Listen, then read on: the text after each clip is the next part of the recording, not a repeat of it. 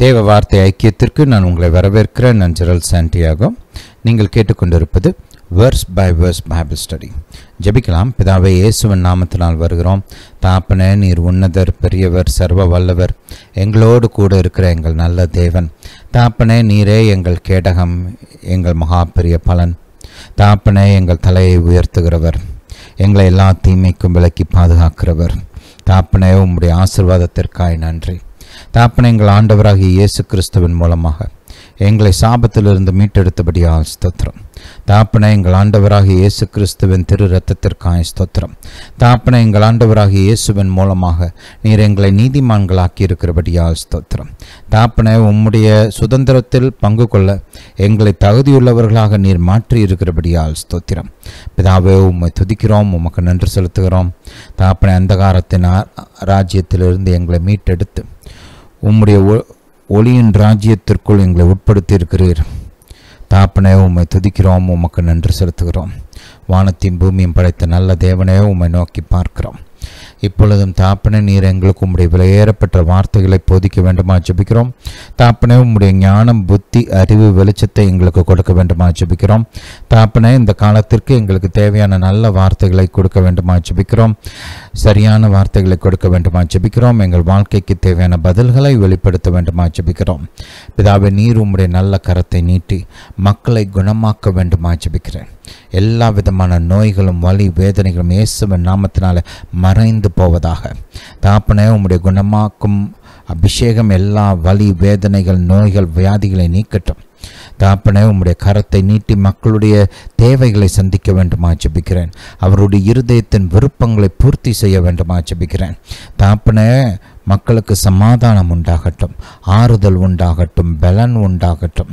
தாப்பனே முன்னேறுவதற்கான பலன் மேற்கொள்வதற்கான பலன் ஜெயிப்பதற்கான பலன் செழிப்பதற்கான பலன் உண்டாகட்டும். தாப்பனே நீரே தேவன். ஜீவிக்கிற தேவன் மெய்யான தேவன். தாப்பனை நீர் எங்களுக்கு ஒத்தாசை செய்கிறபடியால் ஸ்தோத்திரம். ஒவ்வொருவரையும் கண்ணின் மணியைப் போல பாதுகாக்க வேண்டுமா ஜெபிக்கிறேன். என்னுடைய சத்தத்தை கேட்டுக்கொண்டு இருக்கிற இவர்கள் மீதும் இவர்கள் குடும்பத்தார் மீதும் இவர்களுக்கு உண்டான யாவற்றின் மீதும் உம்முடைய பரிபூரண பாதுகாப்பு உண்டாகட்டும். தாப்பனை எல்லா தீமைக்கும் எல்லா விதமான ஆபத்துகளுக்கும் விலக்கி பாதுகாக்க வேண்டுமா ஜெபிக்கிறேன். பிதாவை நீங்கள் அப்படியே செய்கிறபடியா ஸ்தோத்திரம். போக்கையும் மரத்தையும் பாதுகாத்து கொள்ளுங்க இவர்கள் இவர்களுக்கு விரோதமான எல்லா ஆயுதங்களும் வாய்க்காமலே போவதாக. பிதாவே உம்முடைய பரிபூர்ண பாதுகாப்புக்காய் ஸ்தோத்திரம். இயேசுவின் நாமத்தினால் பிதாவே அமேன் ஹாலலூய ஹாலலூய டு ஜீசஸ் நம்முடைய கர்த்தர் நல்லவர். சொல்லுங்கள் நல்லவர். நம்முடைய கர்த்தர் நம்மோடு இருக்கிறவர். நமக்கு உதவி செய்கிறவர் நமக்கு சகாயம் செய்கிறவர் நம்முடைய தேவைகளை அறிந்து நமக்கு உதவி செய்கிற தேவன். அழலுய அழலுய டு ஜீசஸ் எப்போதுமே கர்த்தர் என்னோடு இருக்கிறார் என்ற எண்ணத்தை இருக பற்றி கொள்ளுங்கள் கலாத்திற்குள்ளே கடந்து போவதற்கு முன்பாக ஒரு வசனத்தை வாசிக்க விரும்புகிறேன். என்னோடு சேர்ந்து வாசிங்க. சங்கீதம் நாற்பத்தி ஆறு. சங்கீதம் நாற்பத்தி ஆறு. ஹாலலூயா டு ஜீசஸ் ஏழாம் வசனத்திலிருந்து வாசிப்போம். சேனைகளின் கர்த்தர் நம்மோடு இருக்கிறார். யாக்கோபின் தேவன் நமக்கு உயர்ந்த அடைக்கலமானவர். சொல்லுங்கள் சேனைகளின் கர்த்தர் ந என்னோடு இருக்கிறார். யாக்கோபின் தேவன் எனக்கு உயர்ந்த அடைக்கலம். அழலுயா இதை திரும்ப திரும்ப எனக்கு சொல்லுங்கள் அழலுயா ஏற்று ஜீசஸ் சேனைகளின் கர்த்தர்னால் என்ன அர்த்தம்? கர்த்தருக்கு ஒரு சேனை இருக்கிறது. அந்த சேனையில் வான தூதர்கள் இருக்கிறாங்க. வேதம் போதிக்கிறது கர்த்தர் தம்முடைய தூதர்களுக்கு கட்டளையிட்டு இருக்கிறாராம் நம்மை பாதுகாக்கும்படி நம்மை தப்புவிக்கும்படி. அழலோய நீங்கள் என்றைக்குமே தனியாக இல்லை. உங்கள் கூட கர்த்தர் இருக்கிறார் உங்கள் கூட வான தூதர்கள் இருக்கிறாங்க. Right? ஒரு காலம் பயப்படாதீங்க. நான் தனியாக இருக்கிறேன் எனக்கு யாரும் இல்லை. அப்படின்லாம் யோசிக்காதீங்க. ஏதாவது ஒரு பிரச்சனைக்குள்ளே கடந்து போகும்போது ரைட் எனக்கு யாரும் இல்லை நான் தனியாக இருக்கிறேன் அப்படின்னு யோசிக்காதீங்க. ரைட் வாயை திறந்து சொல்லணும். தேவன் என்னோடு கூட இருக்கிறார். இந்த சத்தியம் வந்து உங்களுக்குள்ள எந்த அளவுக்கு ஆழமாக பதியணும்னா உங்கள் தாய் தகப்பன் உங்களோடு இருப்பதை காட்டிலும் உங்களுடைய சகோதர சகோதரிகள் உங்களோடு கூட இருப்பதை காட்டிலும் உங்களுக்கு வேண்டப்பட்டவர்கள் நண்பர்கள் உங்களோடு இருக்கிறதை காட்டிலும் தேவன் உங்களோடு கூட இருக்கிற அந்த வெளி சத்தியம் உங்களுக்குள்ளே ரொம்ப ஆழமாக இருக்கணும். அது உங்களுக்கு இன்னும் அதிக உண்மையாக படணும். அந்த அளவுக்கு இந்த சத்தியத்தை திரும்ப திரும்ப தியானிங்க. ரைட் யோசிப்பை யோசித்து பாருங்களேன். அவனை வந்து அவனுடைய சகோதரர்கள் விட்டு போட்டுட்டாங்க. ரைட் இப்போ அவங்க அப்பா வந்து அவன் செத்துட்டான்னு நினச்சிட்டு இருக்கிறாரு. சகோதரர்கள் இவன் வேண்டான்னு சொல்லி வெறுத்து தான் விற்று போட்டுட்டாங்க. அப்படிப்பட்ட சூழ்நிலையில் வெளிநாட்டில் இருக்கிறான். கேட்குறதுக்கு நாதி கிடையாது. யாரும் உதவி செய்கிறது கிடையாது. ஏ ஒரு மிருகத்தை போல தான் நடத்துவாங்க அடிமைகளெல்லாம். பிரபு மாதிரி இருந்த ஒருத்தன் இப்போ அந்த அளவுக்கு ஒரு கொத்தடிமையாக மாறிட்டான். அதுவும் வெளிநாட்டில். ஆனால் அவனுக்குள்ளே ஒரு ஒரு ஆழ்ந்த சத்தியம் இருந்தது. அவனுக்குள்ளே ஒரு வெளிச்சம் இருந்தது. ஆப்ராமின் தேவன் ஈசாக்கின் தேவன் யாக்கோபின் தேவன் என்னோடு கூட இருக்கிறார் அப்படின்ற ஒரு ஆழமான வெளிச்சம் இருந்தது. சரி அந்த வெளிச்சம்தான் யோசேப்புடைய வாழ்க்கையை கட்டினது. ஏன்னா கர்த்தர் அந்த வெளிச்சத்தின்படியே அவனோடு கூட இருந்து அவனை ஆசிர்வதித்து அவனுக்கு தயவு பாராட்டி அவனை பாதுகாத்து தப்புவித்து உயர்த்தினார். அழலுய அதனால தான் இப்படிப்பட்ட நல்ல வார்த்தைகளை உங்கள் இருதயத்தில் பொக்கிஷமாக சேமித்து வைக்கணும். அடிக்கடி சொல்லணும். சேனைகளின் கர்த்தர் என்னோடு கூட இருக்கிறார். யாக்கோபின் தேவன் எனக்கு உயர்ந்த அடைக்கலம். அழலுய அடிக்கடி சொல்லுங்கள் அழலுய சரி. வாசிப்போம். கலாத்தியருக்கு எழுதின நிருபம் கலாத்தியருக்கு எழுதின நிருபம் மூன்றாம் அதிகாரம். இன்றைக்கி பத்து பத்தாம் வசனத்திலேருந்து பதினான்காம் வசனம் வரைக்கும் வாசித்து அந்த வசனங்களை இன்றைக்கும் வருகிற வரப்போகிற அந்த மெசேஜஸ்லையும் தியானிக்க போகிறோம். ரைட் போன கொஞ்சம் மெசேஜஸில் ஆறாம் வசனத்தில் ஆரம்பித்து ஒன்பதாம் வசனம் வரைக்கும் தியானித்தோம். இன்றைக்கி பத்தில் ஆரம்பித்து பதினான்கு வரைக்கும் வாசித்து விட்டு அதை படிப்படியாக நாம் தியானிக்க ஆரம்பிப்போம். என்னோட கூட சேர்ந்து வாசிங்க பைபிளை ஓப்பன் பண்ணி வச்சுக்கோங்க. இந்த வசனங்களை கண்களால் பாருங்கள் வாயை திறந்து என்னோட கூட சேர்ந்து வாசிங்க. பத்தாம் வசனம். நியாயப்பிரமாணத்தின் கிரியைக்காரராகிய யாவரும் சாபத்திற்கு உட்பட்டு இருக்கிறார்கள் நியாயப்பிரமான புஸ்தகத்தில் எழுதப்பட்டவைகளை எல்லாம் செய்யத்தக்கதாக அவைகளில் நிலைத்திராதவன் எவனோ அவன் சபிக்கப்பட்டவன் என்று எழுதியிருக்கிறது. நியாயப்பிரமாணத்தினால் ஒருவனும் தேவனிடத்தில் நீதிமானாக ஆகிறதில்லை என்பது வெளியரங்கமாய் இருக்கிறது ஏனெனில் விசுவாசத்தினால் நீதிமான் பிழைப்பான் என்று எழுதியிருக்கிறதே. நியாயப்பிரமாணமோ விசுவாசத்திற்குரியதல்ல. அவைகளை செய்கிற மனுஷனே அவைகளால் பிழைப்பான். மரத்திலே தூக்கப்பட்ட எவனும் சபிக்கப்பட்டவன் என்று எழுதியிருக்கிறபடி கிறிஸ்து நமக்காக சாபமாகி நியாயப்பிரமாணத்தின் சாபத்திற்கு நம்மை நீங்களாக்கி மீட்டு கொண்டார். ஆபிரகாமுக்கு உண்டான ஆசிர்வாதம் கிறிஸ்து இயேசுவினால் புறஜாதிகளுக்கு வரும்படியாகவும் ஆவியை குறித்து சொல்லப்பட்ட வாக்குத்தத்தத்தை நாம் விசுவாசத்தினால் பெறும்படியாகவும் இப்படி ஆயிற்று. அழலுய அநேக அற்புதமான சத்தியங்கள் நிறைந்த வேத பகுதி இது. எக்கச்சக்கமான காரியங்கள் இருக்குது இதுக்குள்ளே. அதை கொஞ்சம் கொஞ்சமாக நம்ம தியானிப்போம். ஆலலுய ஆலலுய டு ஜீசஸ் நம்ம வந்து அவசர இது வந்து சும்மா பேருக்காக பண்ணுறதில்ல அவசரப்பட்டு நம்ம தியா கடந்து போக வேண்டாம். ஒவ்வொரு வார்த்தையும் கொஞ்சம் நல்லா டைம் எடுத்து நிதானமாக பார்த்து அதில் என்ன இருக்குது இந்த வார்த்தைகள்லேருந்து நம்ம என்ன கற்றுக்கலாம் இது நம்ம வாழ்க்கையை எப்படி பாதிக்கும் இன்றைக்கி நம்ம வாழ்க்கையில் இது எப்படி நமக்கு பிரயோஜனமாக இருக்குது? இந்த காரியங்களெல்லாம் பார்ப்போம். அழலுய சரி. இந்த முதல் ஸ்டேட்மெண்ட்டை கொஞ்சம் கவனிங்க. பத்தாம் வசனம். நியாயப்பிரமாணத்தின் கிரியைக்காரராகிய யாவரும் சாபத்திற்கு உட்பட்டு இருக்கிறார்கள் ரைட் பயங்கரமான ஸ்டேட்மெண்ட் இல்லை? அது எப்படி? வானத்தையும் பூமியும் படைத்த தேவன் சகல லோகத்தையும் உண்டாக்கின தேவன் தன்னுடைய உடன்படிக்கை மக்களுக்கு நியாயப்பிரமாணத்தை கொடுத்துருக்கிறாரு. அப்போ அந்த இது எல்லாமே ஜீவனுக்கு அடுத்த காரியங்கள். நம்முடைய தேவன் ஜீவிக்கிற தேவன் தன்னுடைய மக்களை ஆசிர்வதிக்கிற தேவன் ரைட் ஜீவ வார்த்தைகளை அவங்களுக்கு கொடுத்துருக்கிறாரு. அவங்களோடு கூட அவங்களுடைய பிரயோஜனத்துக்காக இரத்த உடன்படிக்கை பண்ணியிருக்கிறாரு. அவங்களுக்கு வெளிச்சம் உண்டாக வேண்டும். நன்மை தீமை நன்மை எது தீமை எது அப்படின்னு அவங்க அறிந்து கொள்ள வேண்டும். தன்னுடைய பாதையில் நடக்க வேண்டும் என்பதற்காக ரைட் மிகவும் ஞானமான பொக்கிஷமான அருமையான வார்த்தைகளை மோசையின் மூலமாக கொடுத்துருக்கிறாரு.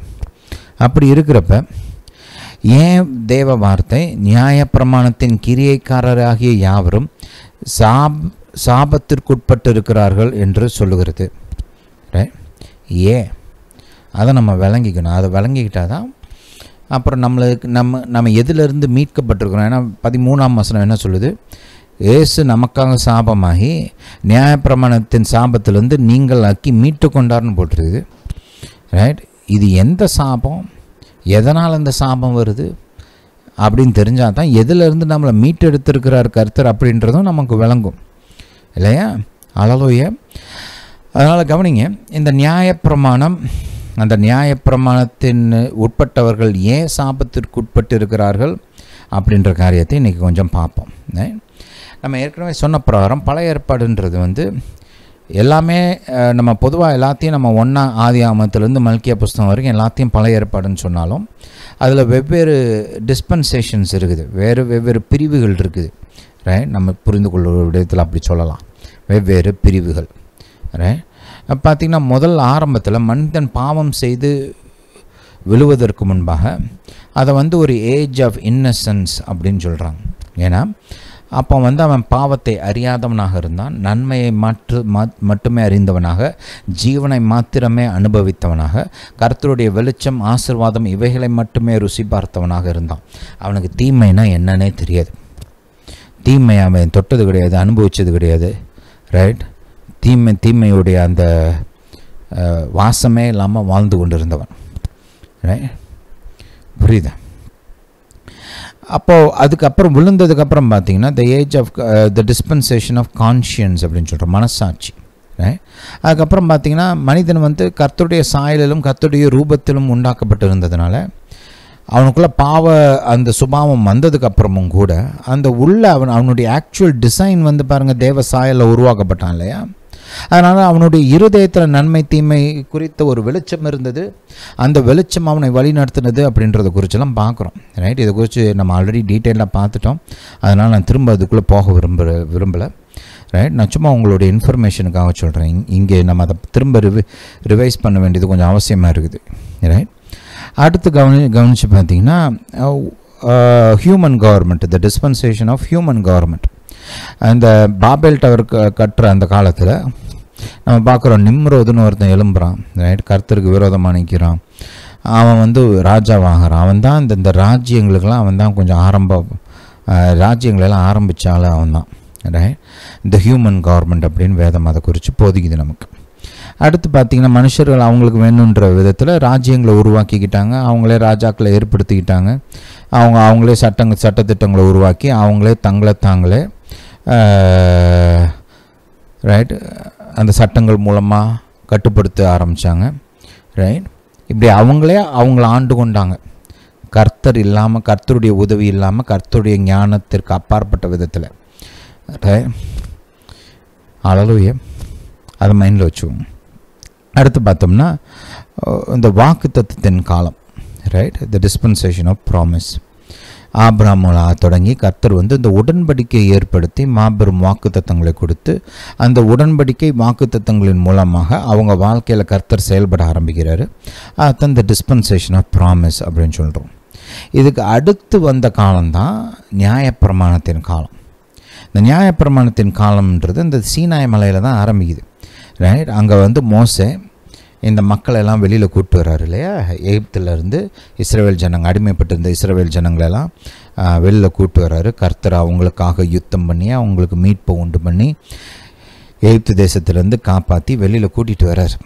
ரைட் அப்படி கூட்டிகிட்டு வந்தப்போ அவங்க வந்து சீனாய் மலைக்கு அடியில் அங்கே வந்து நிற்கிறாங்க அப்போ தேவன் அவங்களுக்கு தரிசனமாகி ரைட் அங்கே வந்து பார்க்கக்கூடிய விதத்தில் ரைட் மகிமையான விதத்தில் அவர் அங்கே வந்து சீனாய் மலை உச்சியில் வெளிப்படுறார். வெளிப்பட்டு தன்னுடைய சத்தத்தை அவங்களுக்கு வெளிப்படுத்துகிறார். அவரே தேவ வார்த்தை ரைட் அவங்களுக்கு அங்கே போதிக்கிறார். பத்து கட்டளைகளை கொடுக்குறாரு. அதோட சேர்த்து மற்ற காரியங்களையும் அங்கே அவங்களுக்கு போதிக்கிறார் ரைட் அப்போ இந்த இடத்துல இருந்து தான் இந்த நியாய பிரமாணன்ற காரியம் உண்டாகுது இது வந்து பார்த்திங்கன்னா இந்த இது எல்லாமே உடன்படிக்கையின் மூலமாக உண்டான காரியங்கள் ரைட் அழலுவிய நம்ம வேதத்தில் பார்க்குறோம் கர்த்தர் நோவாவின் காலத்தில் பார்த்திங்கன்னா நோவாவுடனும் அவன் பிள்ளைகளுடனும் உடன்படிக்கை செய்கிறார். அந்த உடன்படிக்கை அடையாளம் தான் நம்ம வானவில். இல்லையா? கர்த்தர் வந்து இனிமேல் ஜலத்தின் மூலமாக மொத்த பூமியை அழிக்க மாட்டேன் அப்படின்னு சொல்லி வாக்கு கொடுத்து நோவா அவன் பிள்ளைகளோட மற்ற உயிரினங்களோட கூட உடன்படிக்கை செய்கிறார். அடுத்து பார்க்குறோம் நம்ம ஆப்ராம் கூட உடன்படிக்கை செய்கிறார். ஆப்ராம் கூட பதினைந்தாம் அதிகாரத்தில் ரைட் ஒரு நித்திய உடன்படிக்கையை ஏற்படுத்தி ரைட் அந்த இஸ்ரவேல் தேசம் ரைட் அந்த காணான் தேசத்தை வந்து இஸ்ரவே ஆப்ரஹாம் அவனுடைய சந்ததியாக இருக்குது அப்படின்னு சொல்லி கர்த்தர் உடன்படிக்கை பண்ணி அவங்களுக்கு கொடுத்துட்டார். அடுத்து பதினேழாம் அதிகாரத்தை பார்க்கலாம். மறுபடியும் கர்த்தர் வந்து அங்கே ஆப்ராம் கூட ஒரு நித்திய உடன்படிக்கையை ஏற்படுத்துகிறார். ஏன்னா கர்த்தர் வந்து ஆப்ராமுக்கும் அவன் பிள்ளைகளுக்கும் தேவனாக இருக்க வேண்டும் என்று விரும்பி ஆப்ராமோடு கூட ரைட் நித்திய உடன்படிக்கை பண்ணுகிறார். அது மட்டுமல்ல அவனுடைய பிள்ளைகளோடும் அந்த உடன்படிக்கை தொடர வேண்டும் என்று விரும்பி அவங்களுக்கு வந்து விருத்த சேதனத்தை கொடுக்குறார். இந்த விருத்த சேதனம்ன்ற பார்த்திங்கன்னா எட்டு வயசில் அந்த ப- பிள்ளையோட அந்த நுனித்தோலை எடுத்து ரைட் அந்த பிள்ளை ரத்தம் சிந்தி ரைட் ஒரு உடன்படிக்கை ஏற்ப ஏற்ப ஏற்படுகிறது. எட்டு வயசுலேருந்தே அந்த பிள்ளை வந்து உடன்படிக்கைக்குள்ளே வந்துடுது கர்த்தரோட. சின்ன வயசுலேருந்தே அழலுய பிறந்ததுலேருந்தே அந்த பிள்ளைய அந்த உடன்படிக்கைக்குள்ளேயே தான் இருக்கிறாங்க. அழலுய அழலுய டு ஜீசஸ் அதே மாதிரி பார்த்தோம்னா அதுக்கப்புறம் இங்கே வந்து கர்த்தர் இங்கே வச்சு எங்கே? இந்த சீனாய் மலையில் வச்சு இந்த எகிப்துலேருந்து வெளியில் வந்த ஜனத்தோடு கூட உடன்படிக்கை செய்கிறார். அதையும் கொஞ்சம் பார்ப்போம். இந்த உடன்படிக்கையை புரிஞ்சுக்கணும். ஏன்னா உடன்படிக்கை புரிஞ்சால் தான் சாபம் என்னன்னு புரியும். அழலோய அதனால் உடன்படிக்கை குறித்து நாம் அறிந்து கொள்வது அவசியம்.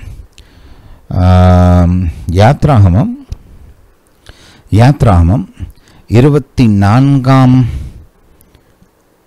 அதிகாரம் முதல் வசனத்திலிருந்தே வாசிப்போம். அழலுய யாத்ராமம் இருபத்தி நாலு முதல் வசனத்திலிருந்தே வாசிப்போம்.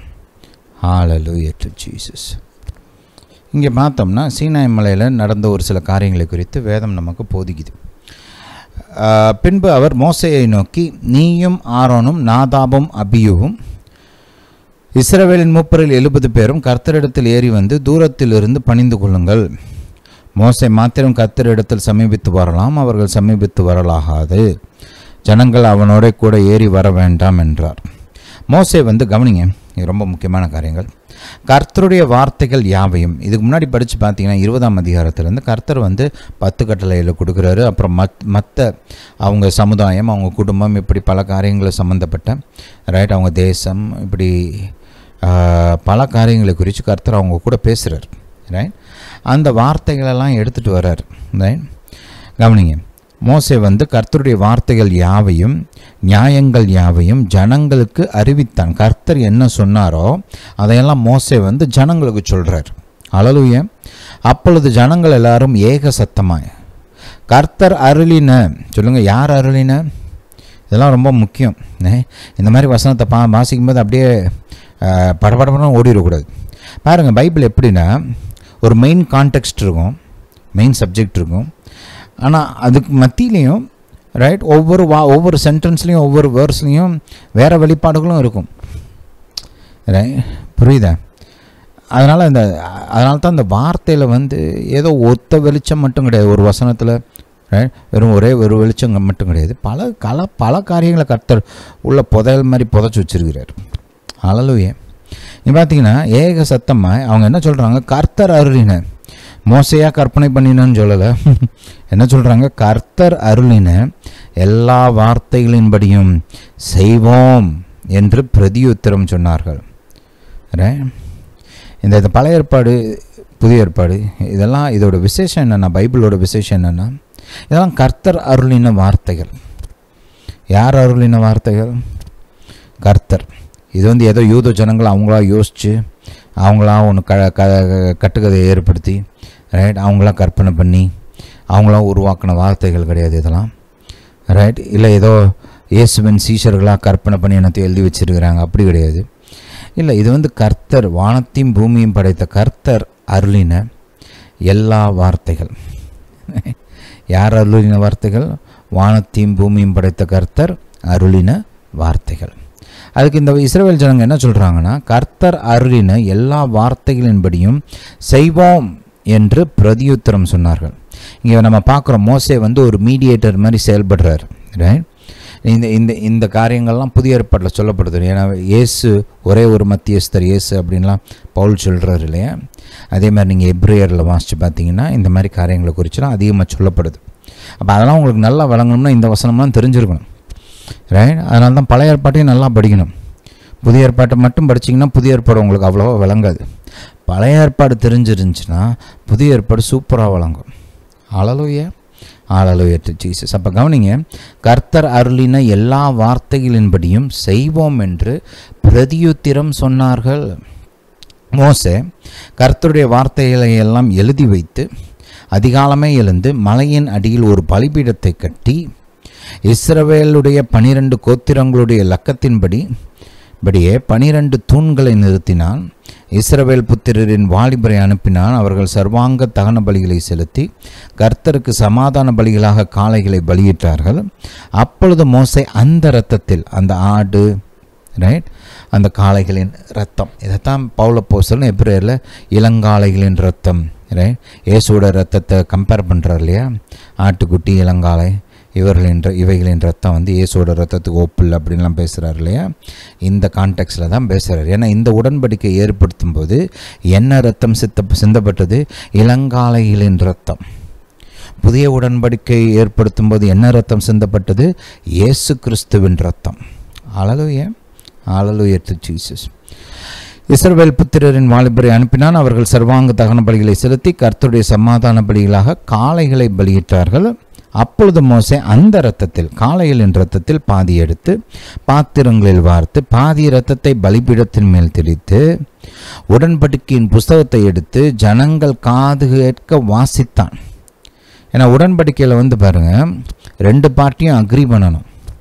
இப்போ நீங்கள் ஒரு அக்ரிமெண்ட் எழுதுறீங்க அக்ரிமெண்ட் எழுதும்போது ரெண்டு பார்ட்டியும் எனக்கு இது வேணும்னு சொல்லுவாங்க அவங்க எனக்கு அது வேணும்னு சொல்லுவாங்க. ஒரு சில சமயம் ரெண்டு பேரும் வேணுன்றதை எழுதுவாங்க. அப்புறம் ஒரு சில ஏரியாவில் காம்ப்ரமைஸ் பண்ணி சரி ஒருத்தருக்கு பிடிக்காட்டினாலும் சரி கொஞ்சம் குறைச்சிக்குவோம் இல்லை கொஞ்சம் கூட்டிக்குவோம் அப்படின்னு சொல்லி ஒரு டேர்ம்ஸ் ஆஃப் அக்ரிமெண்ட் ஒரு சில காரியங்களை குறைச்சி ஒத்துக்கிட்டு அந்த காரியங்களெல்லாம் எழுதி ரைட் இது இது இந்த இந்த காரியங்களுக்கு நாங்கள் ஒத்து போகிறோம் அப்படின்னு சொல்லி சம்மதிக்கிறோம் அப்படின்னு சொல்லி கையெழுத்தெல்லாம் போட்டு ரைட் அக்ரிமெண்ட் போடுறாங்க இல்லையா? அந்த மாதிரி? கர்த்தர் சொல்கிறாரு என் கூட உடன்படிக்கை என் முன்னாடி நீ நடக்கணும் என் கூட நடக்கணும். என்ன நீ சேவிக்கணும்னா நீ இந்த மாதிரி காரியங்களெல்லாம் செய்யணும். இந்த விதத்தில் சேவிக்கணும் அப்படின்னு சொல்லி தன்னுடைய வார்த்தையில் தன்னுடைய மனதை அவங்களுக்கு வெளிப்படுத்துகிறார் இந்த ஜனங்கள் அதெல்லாம் காது கொடுத்து கேட்டுட்டு அதுக்கு பதில் சொல்கிறாங்க நாங்கள் இதெல்லாம் ஒத்துக்கிறோம். கர்த்தர் அருளின எல்லா வார்த்தைகளின்படியையும் செய்வோம் அப்படின்னு ஒத்துக்கிறாங்க. ரைட் அந்த அடிப்படையில் தான் இங்கே உடன்படிக்கை ஏற்படுத்தப்படுகிறது. நியாயப்பிரமாணத்தின் உடன்படிக்கை. அழலுய அப்பொழுது கவனிங்க. எட்டாம் வசனம்.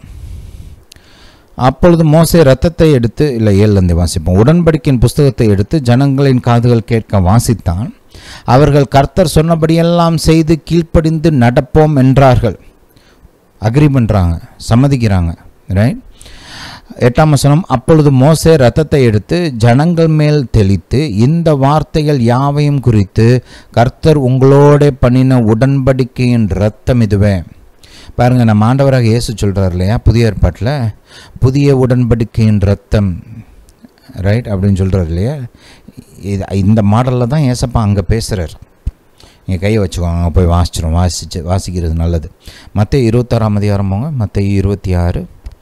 Hallelujah to Jesus hallelujah to Jesus இந்த மாடல் இந்த பேட்டர்ன் இதெல்லாம் விளங்குச்சுன்னா வசனம் நம்மளுக்கு நல்லா விளங்கும். அதனால தான் இதெல்லாம் பார்க்குறோம். இது வந்து பைபிள் ஸ்டடி இல்லையா? அதனால் நம்ம டைம் எடுத்து இந்த காரியங்களெல்லாம் பார்ப்போம். அழலுய இருபத்தாறு பாரு. அழலுய டு ஜீசஸ் இங்கே இந்த ராப்போஜனத்தின் அப்போ கர்த்தர் வந்து டக்குன்னு செய்கிறாரு பாருங்க. இருபத்தி ஆறாம் வசனத்தை வாசிப்போம். அவர்கள் போஜனம் பண்ணுகையில் இயேசு அப்பத்தை எடுத்து ஆசிர்வதித்து அதை பிட்டு சீஷர்களுக்கு கொடுத்து நீங்கள் வாங்கி புசிங்கள் இது என்னுடைய சரீரமாக இருக்கிறது. ஏன்னா அவர் சரீரம் தான் பலியாக கொடுக்கப்பட போகுது இல்லையா பின்பு பாத்திரத்தையும் எடுத்து ஸ்தோத்திரம் பண்ணி அவர்களுக்கு கொடுத்து நீங்கள் எல்லாரும் இதில் பானம் பண்ணுங்கள். இது பாவ மன்னிப்பு உண்டாகும்படி அநேகருக்காக சிந்தப்படுகிற புது உடன்படிக்கைக்குரிய என்னுடைய இரத்தமாக இருக்கிறது. இதுதான் பேட்டர்ன் அங்கே வந்து மோசை காளைகளை அடித்து காளையை பலியாக செலுத்தி காளையோட சரீரம் பலி கொடுக்கப்படுகிறது ரத்தம் அங்கே சிந்தப்படுகிறது இல்லையா? அந்த ரத்தத்தின் அடிப்படையில் உடன்படிக்கை ஏற்படுத்துகிறது ஏற்படுத்தப்படுகிறது. இங்கேயும் பார்க்குறோம் இயேசு தன்னுடைய பலி சரீரத்தை சிலுவையில் பலியாக கொடுக்குறாரு அங்கே தன்னுடைய ரத்தத்தை சிந்துறாரு. அந்த ரத்தம் தான் புதிய உடன்படிக்கைக்கு அடிப்படையாக இருக்கிறது. ஆலலுய ஆலலுய டு ஜீசஸ் சரி மறுபடியும் போகலாம் யாத்திராம இருபத்தி நான்காம் அதிகாரம்.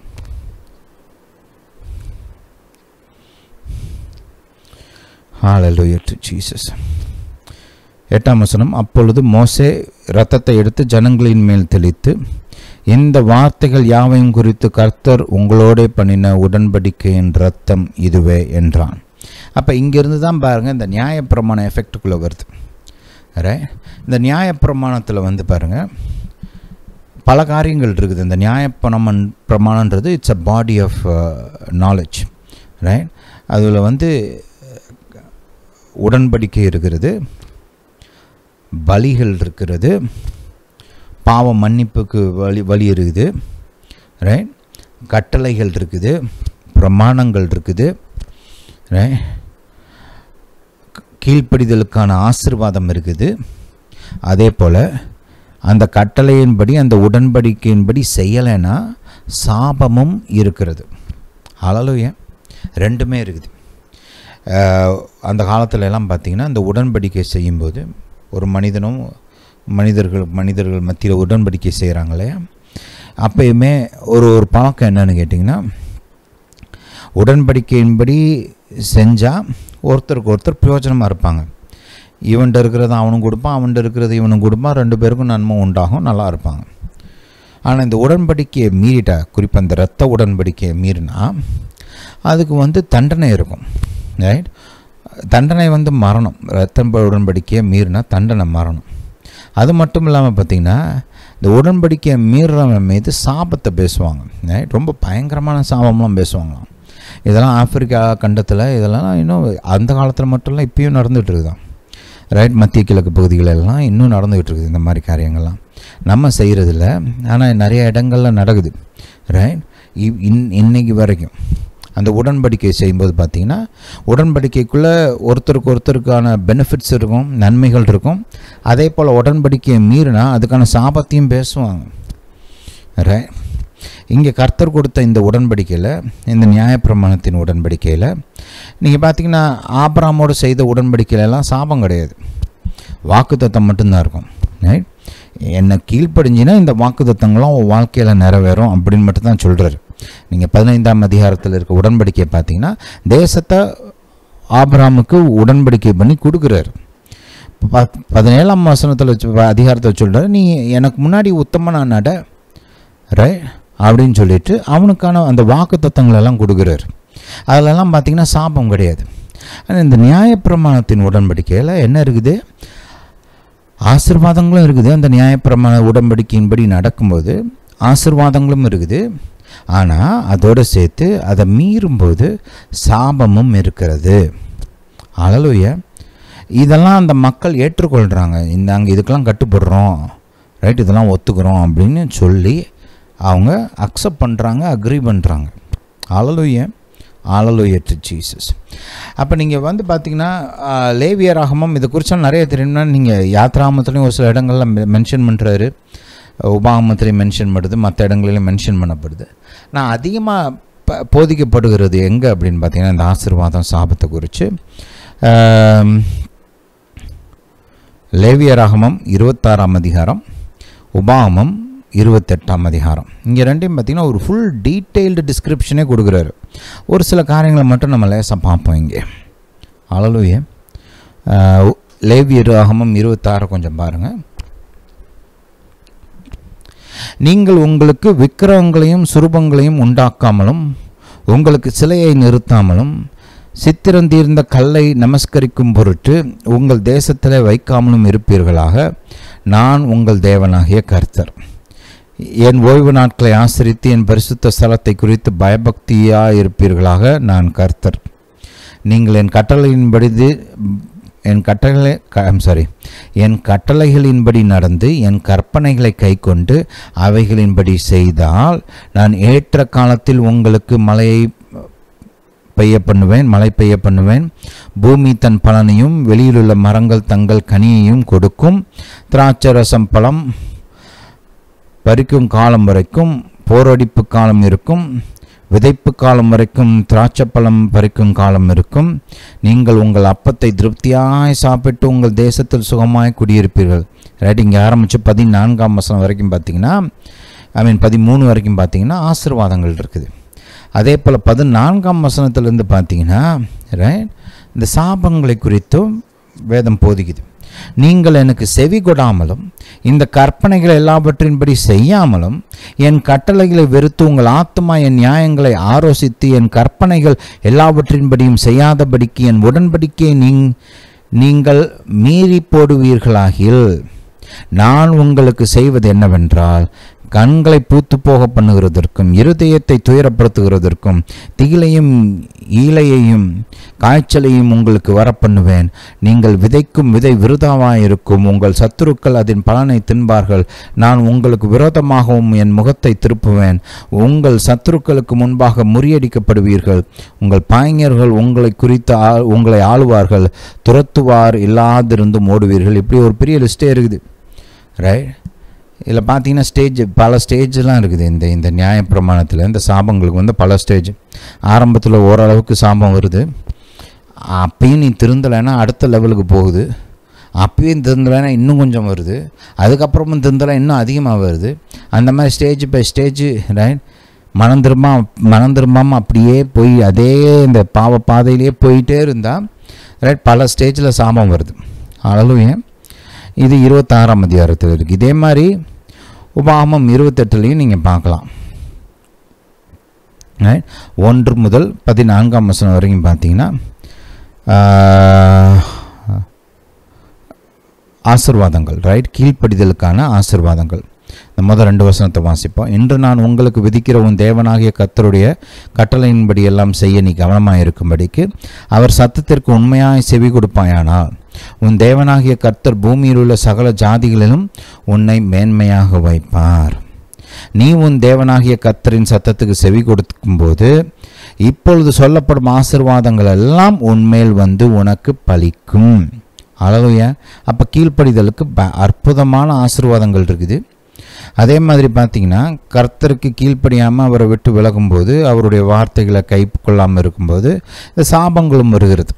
அப்போ இங்கே கவனிங்க இன்று நான் உனக்கு விதிக்கிற உன் தேவனாகிய கர்த்தருடைய எல்லா கற்பனைகளின்படியும் கட்டளைகளின்படியும் நடக்க கவனமாக இருக்கிறதற்கு அவர் சத்தத்திற்கு செவிகொடாதே போவாயாகில்.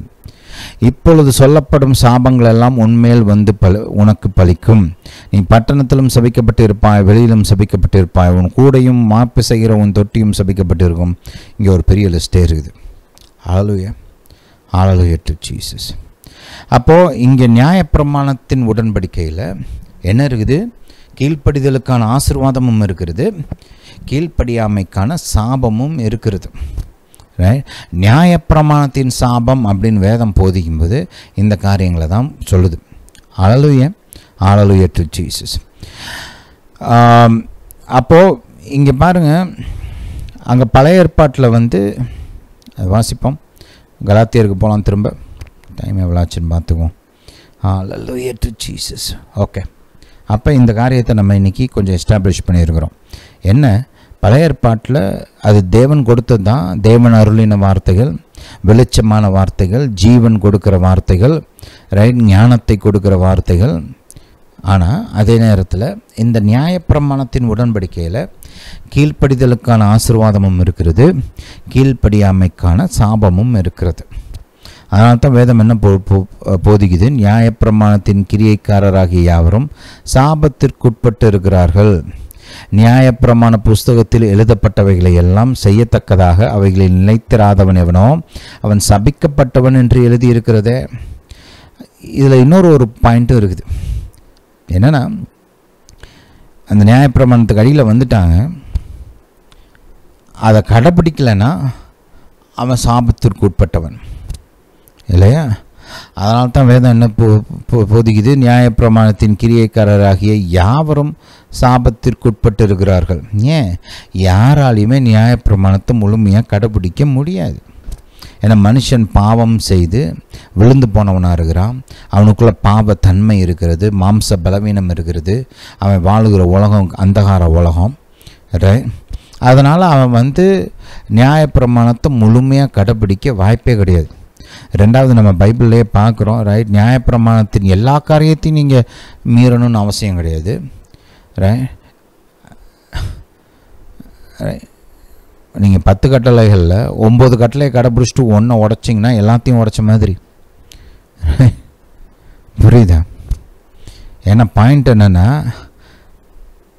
அந்த கட்டளைகள் கொடுத்து தேவனுக்கு நம்ம கீழ்ப்படுகிறோம். ரைட் அவர் சொன்ன ஒரு சிலதை ஒத்துக்கிட்டு ஒரு சிலதை ஒத்துக்கல. அதுக்கு நான் கீழ்ப்படிய மாட்டேன்னு சொன்னால் மொத்தமாக கீழ்ப்படியாத மாதிரி தான் அதாவது பேசிக்காக நான் தேவனுக்கு கீழ்ப்படியாதவன். அழலுய அழலுய டு ஜீசஸ் அப்போ நீங்கள் பல காரியங்கள் நல்லா செஞ்சு ஒரு சில காரியங்களை நீங்கள் கோட்டை விட்டாலும் மொத்தமாக ஃபெயில் ஆன மாதிரி. இட்ஸ் த சேம் திங் யாக்கோபில் அப்படியே போட்டிருக்குது. வாசிப்போம். யாக்கோபு எழுதுன இருப்போம் Hallelujah டு ஜீசஸ் நான்காம் அதிகாரம். Hallelujah டு ஜீசஸ் சரி ரெண்டாவது அதிகாரம். யாக்கோபு ரெண்டு பத்தாம் வசனத்திலிருந்து வாசிப்போம். கவனிங்க எப்படியெனில் ஒருவன் நியாயப்பிரமாணம் முழுவதையும் கை கொண்டிருந்தும் ஒன்றிலே தவறினால் எல்லாவற்றிலும் குற்றவாளியாக இருப்பான் ஏனென்றால் விப விபச்சாரம் செய்யாதிருப்பாயாக என்று சொன்னவர். கொலை செய்யாதிருப்பாயாக என்றும் சொன்னார். கர்த்தர் ஒருத்தர் தான் அவர் பல கட்டளைகளை கொடுத்துருக்கிறார். அதனால் நீங்கள் ஒரு கட்டளை மீறினாலும் அவருக்கு கீழ்ப்படியலாம் அதான் மேட்ரு ரைட் அழலுய ஆதலால் நீ விபச்சாரம் செய்யாமல் இருந்தும் கொலை செய்தாயானால் நியாயப்பிரமாணத்தை மீறியவனாய் இருப்பாய். அழலுய அழலுய டு ஜீசஸ் அதனால தான் பேசிக்காக பார்த்தீங்கன்னா இந்த நியாயப்பிரமாணத்துக்கு உட்பட்டவங்க எல்லாமே எதுக்குள்ளே இருக்கிறாங்க? சாபத்துக்குள்ளே இருக்கிறாங்க. ஏன்னா யாருமே முழுசாக நியாயப்பிரமாணத்துக்கு கீழ்ப்படிய முடியாது. வாய்ப்பே இல்லை. அதனால தான் வேதம் அந்த விதமாக சொல்கிறது சரி இன்றைக்கி நம்ம வந்து ஒரு சில காரியங்களை உங்களுக்கு ஃபவுண்டேஷனல் நாலேஜ் மாதிரி இப்போ கொடுத்துருக்குறோம். இந்த நியாயப்பிரமாணம்னா என்ன? நியாயப்பிரமாணத்தின் உடன்படிக்கை என்ன? அதுக்குள்ளே என்ன சாபங்கள் இருக்குது? அப்படின்ற மாதிரி ஒரு பேசிக் ஃபவுண்டேஷன் கொடுத்துருக்குது. அடுத்த மெசேஜில் இந்த காரியங்களை குறித்து இன்னும் நம்ம தியானிக்கலாம். இந்த போதனை கேட்டபடியால் நன்றி. கர்த்தர் உங்களை ஆசீர்வதிப்பாராக. நம்முடைய இயேசு ராஜா சீக்கிரம் வருகிறார்.